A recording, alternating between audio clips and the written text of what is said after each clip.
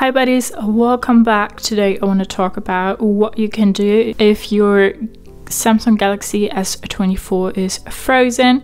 When your screen doesn't work, you can't swipe, you, you can't press anything, nothing happens, and you want to fix that. For that, you need to perform a forced reboot, and you can do that with a key combination. Uh, we'll need to press the power on and off button and the volume down button, and we will keep pressing them until we see our Samsung logo. So we'll do that, press and keep pressing, keep pressing beyond this point, keep pressing and keep pressing. And now you can let go. So now the phone starts again. It might fix some bugs in the background.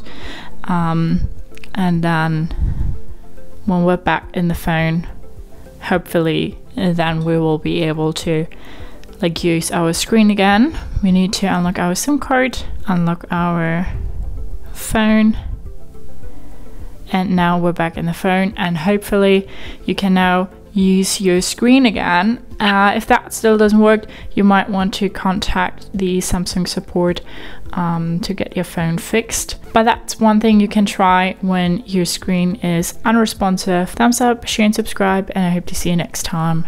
Bye.